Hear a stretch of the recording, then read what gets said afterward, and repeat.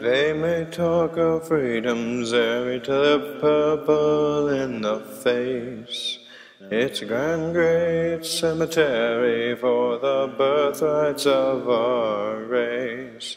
They just want this California, so to love new slave states sin, to abuse ye and to scorn ye, and to plunder ye like sin.